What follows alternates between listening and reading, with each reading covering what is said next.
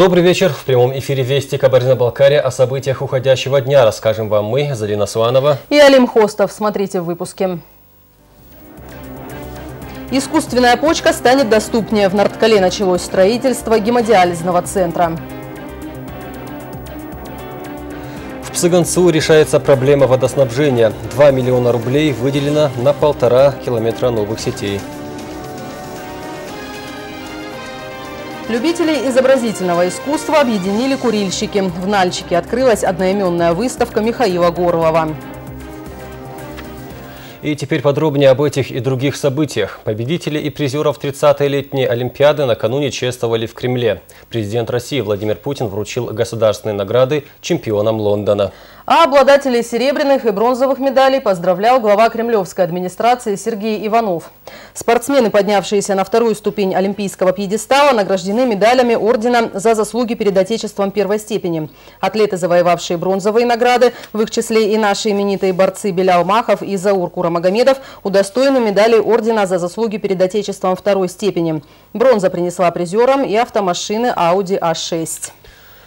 О событиях в республике. Указом главы Кабардино-Балкарии Арсена Канокова 20 августа по случаю праздника Ураза Байрам объявлено нерабочим днем. Об этом сообщает пресс-служба главы и правительства КБР.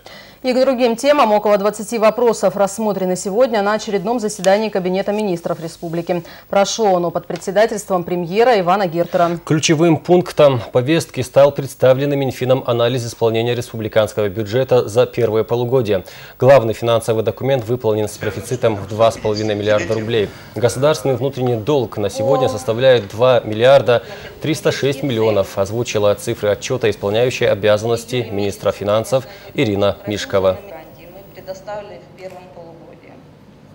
Доходы республиканского бюджета исполнены в объеме 11 миллиардов 676 миллионов рублей или 50% от годовых назначениях.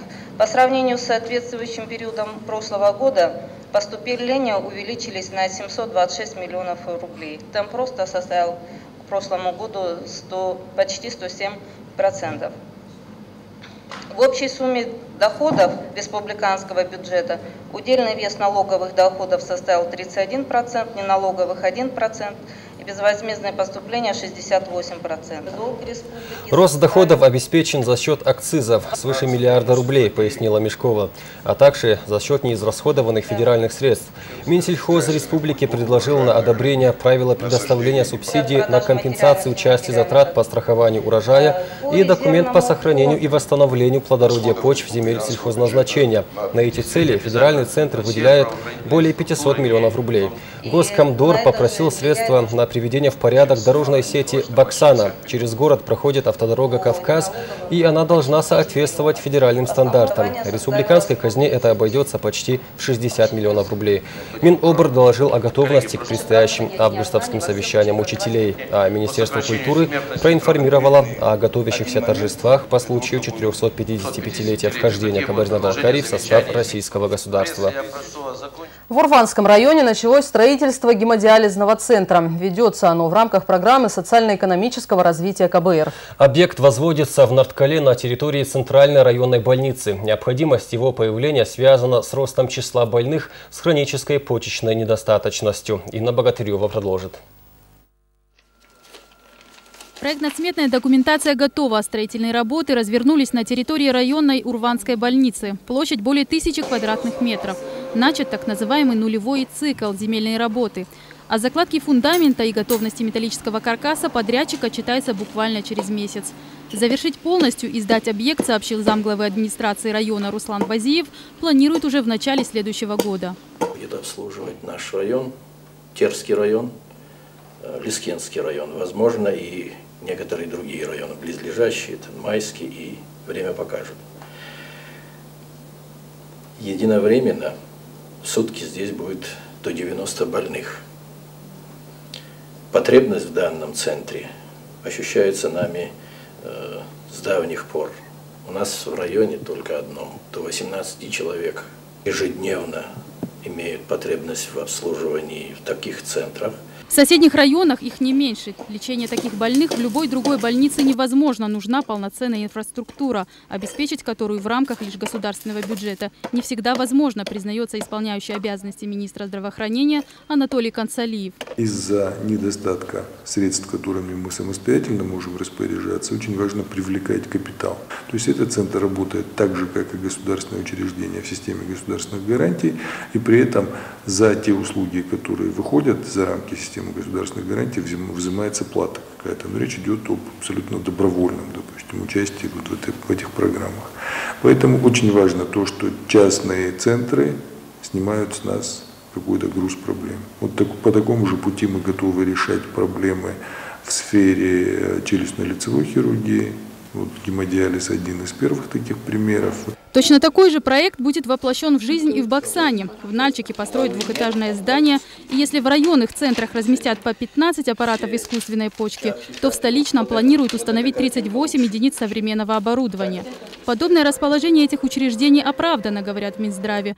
Центры станут местом приема пациентов из населенных пунктов и соседних районов. После ввода в эксплуатацию всех трех медучреждений проходить такую процедуру смогут более 300 пациентов в день. Инна Богатырева, Аслан Хандохов, Вести, Кабардино-Балкария. В Псыганцу всерьез занялись водоснабжением. Здесь уже по другой целевой программе модернизации жилищно-коммунального комплекса КБР началась прокладка новых труб. На эти цели из республиканского бюджета выделены 2 миллиона рублей. Заменить предстоит почти полтора километра ветхих сетей. Это не решит проблемы полностью, говорит глава местной администрации Хачим Конкулов. Снять напряженность поможет федеральная программа «Социальное развитие села». По ней планируется строительство водозаборной башни примерной мощностью 63 кубометра в час в верхней части села. К ее строительству должны приступить в конце года, а вот завершить прокладку новых труб обещают до 10 сентября. Но некоторые опасения у местных властей, тем не менее, остаются.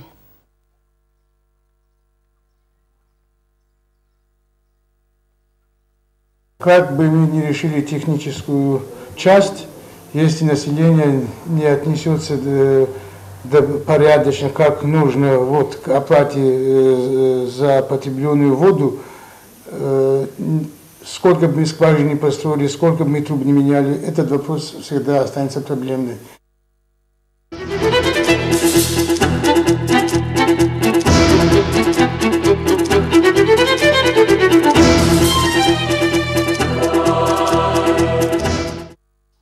Торжества, приуроченные к вхождению Кабардино-Балкарии в состав России, в республике всегда отмечались с размахом, и к каждой юбилейной дате в строй вводились важные социальные объекты. Так, 55 лет назад, в год 400-летия, в плане возведения новых зданий значилась и Государственная национальная библиотека. В архиве краеведа Виктора Дулаева сохранилась фотография еще строящегося объекта. Об истории снимка и первых днях работы в новом здании наш специальный корреспондент Марина Ярославская. История одной фотографии для Виктора Дулаева стала на сегодня первой задачей. Взгляд на Нальчик современный через призму полувека, площадь Марии 60-го года. Привычный памятник и аллеи, но перспектива снимка другая. Это и есть новая веха развития библиотечного дела, запечатленная фотографом. На заднем плане Республиканская научная библиотека в стадии строительства. Фотография настолько необычная. Ведь видеть эту площадь без муз-театра – это очень необычно. В списке объектов, строительство которых было приурочено круглой дате 400-летия вхождения Кабардино-Балкарии в состав России, в особой графе «Ввод в эксплуатацию нового здания Республиканской библиотеки». Но к 57-му строители не успели. Тремя годами позже эти двери открылись для читателей. Фасад тогда еще библиотеки имени Крупской сохранен сегодня в первозданном виде. После тесных помещений на Кабардинской эти кабинеты и читальные залы казались просто роскошью. Это было все для роста фонда. И вот за 30 лет э, фонд вырос до миллиона восьмисот, и, конечно, мы уже не вмещались никак. Штат библиотеки к моменту открытия этого здания увеличили вдвое. Почти 100 сотрудников начали работу над ростом библиотечного дела в республике. Им удалось увеличить фонд с полутора до 300 тысяч экземпляров и почти полностью заполнить книгохранилище рекордных по тем временам масштабов в 7 ярусов. 60-й год стал для библиотеки экспериментальным. Библиографам определили четкие сроки выпуска собственных изданий. В руках у Азизы Махиевой оригинал летописи печати КБ СССР. Тогда именно в Нальчике первыми в Союзе предложили удобный путеводитель для поиска ценной периодики. Это вот тогда, в 60-м, это можно, может быть, было и прорывом вот сделать такое, издать вот такую вот продукцию э, для того, чтобы, э, ну, цель ее была собрать воедино все те издания, которые выпускались на территории республики в течение, допустим, 60-го года. Тем временем путешествие в 60-й год по фотографии сборника «Неповторимый нальчик» для краеведа Дулаева подходит к концу. Отыскав на снимке все детали большой библиотечной стройки, он резюмирует. Наводит на мысль о том, что это не библиотека, не просто библиотека, это храм. Храм знаний, в котором сосредоточены знания по самым разным отраслям в том числе и по истории республики. И хотя история главной республиканской библиотеки началась вовсе не с юбилейного 57-го, а на 36 лет раньше, здесь до сих пор уверены, не подпишем Альбаха в год 400-летия вхождения в состав России приказа о строительстве нового здания не было бы и вехи роста книжного и читательского дела в КБР. Марина Ярославская, Беслан Хаконов, Вести, Кабардино-Балкария. Любителей изобразительного искусства в эти дни объединяют курильщики. Именно так назвал свою экспозицию живописец, график и монументалист Михаил Горлов. Более 70 полотен на заданную тему представлены в Нальчике в музее ИЗО. Автор принимал поздравления сразу по двум поводам. Открытие выставки совпало с его днем рождения. Слово Жанне Гуляевой. Нездешний курильщик, курильщик со стажем и форма сродни оболочки внутреннего состояния курящего человека.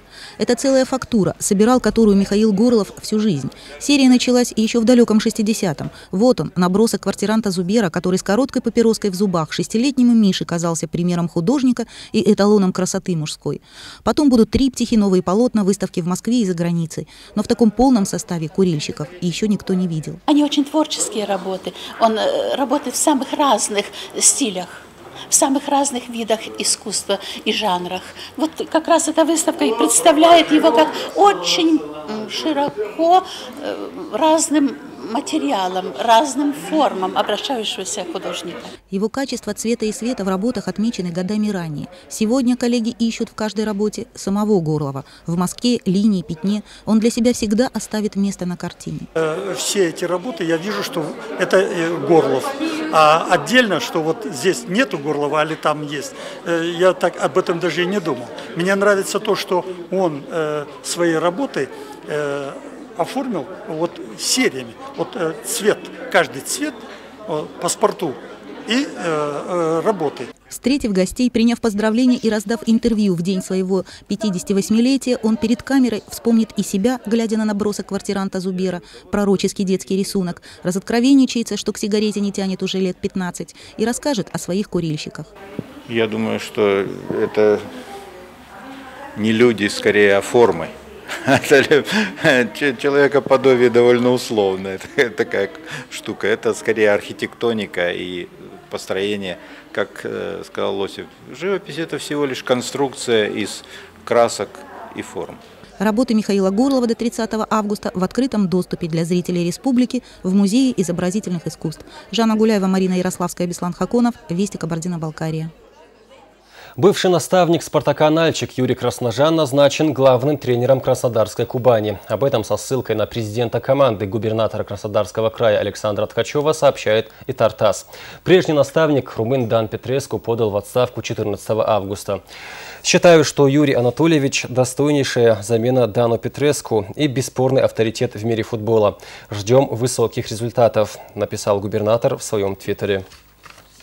Ну а Нальчикский «Спартак», наставником которого Красножан был в прошлом, сменил прописку в виртуальном пространстве. Официальный сайт клуба переехал в новый домен спартак-нальчик.ком. Объяснений этому в стане красно-белых пока не дали, а вот агентство Баш Информ причиной называет хакерские атаки, которым подвергся сайт после матча с Уфой. Спартаковцы тогда, напомню, выиграли, забив с пенальти 1-0. И это была последняя информация выпуска. Напомним, все новости также доступны на сайте вестикбр.ру. Далее прогноз погоды на завтра. Мы же с вами прощаемся. Всего доброго. До встречи.